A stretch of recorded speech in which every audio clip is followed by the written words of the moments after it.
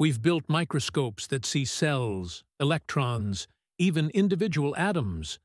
We've collided particles to look deeper and deeper inside matter. But is there a smallest possible length, below which nature refuses to let us look into it? It turns out there is one such length, and it's called the Planck length.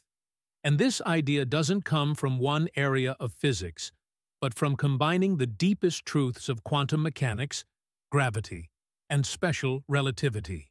Stage 1. The forces between two electrons. Let's begin with a familiar setup. Two electrons sitting in space at some distance r from each other. What forces act between them? Two main forces that act on them are the force of gravity and electric repulsion. Gravity tries to pull them together, and because they are like charges, therefore they repel other. The gravitational force between two masses is given by Newton's gravitational law, which tells us the force of gravity is g times m squared divided by r squared. The electric repulsion, on the other hand, comes from Coulomb's law, which says the electric force is E squared divided by 4 times pi times epsilon naught times r squared.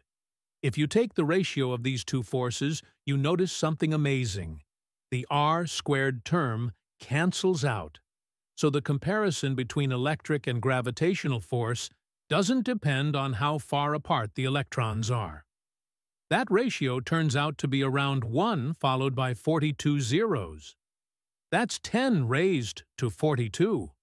So electric repulsion is that much stronger than gravity at the scale of particles.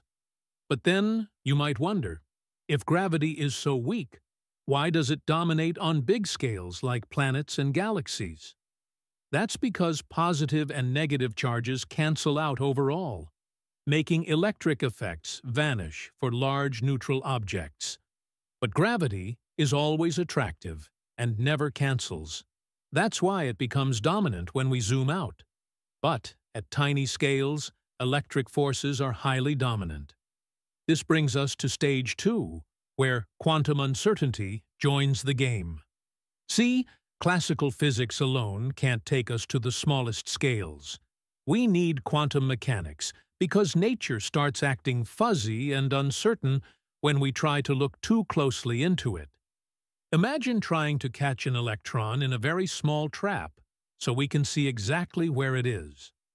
At first, it sounds reasonable, but the universe doesn't work that way. The closer you try to pin down the electron's position, let's say inside a tiny space of size r, the more violently it starts resisting. This is a built-in rule of nature, or a fundamental rule called the Heisenberg uncertainty principle.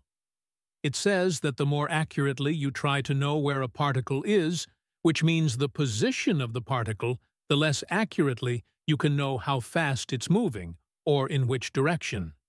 This is because, at the quantum level, that is for very small things like electrons, particles don't just exist at a single point.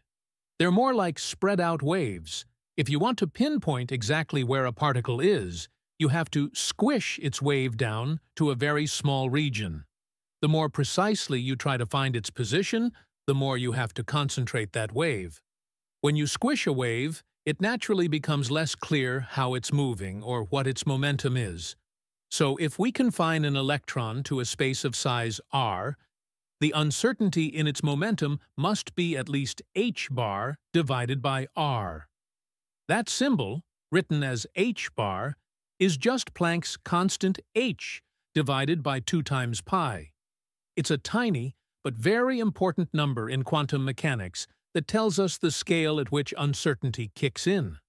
Also, since energy is tied to momentum by special relativity, we can say the energy uncertainty becomes about h bar times c divided by r. Now here's where it gets wild. If that energy uncertainty becomes big enough, say equal to the rest mass energy of an electron, which is m times c squared, which is roughly this value, then something remarkable can happen. That much energy in a tiny space can lead to the creation of new particles. In other words, trying to look too closely inside a particle actually creates new particles. Oh my God. If we solve for the scale where this happens, we find r becomes h bar, divided by m times c. That gives a length of about 10 raised to minus 13 meters, smaller than an atom, but still bigger than a nucleus. At this scale, the world behaves in ways that are dramatically different from our everyday experience, governed by the laws of quantum electrodynamics, QED. Next, let us enter into Stage 3. Energy becomes mass, Mass fuels gravity. Let's now bring in energy's other face, mass.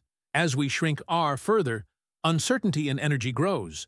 But energy and mass are equivalent, thanks to Einstein's E equals mc squared. So this growing energy starts to contribute to gravitational pull.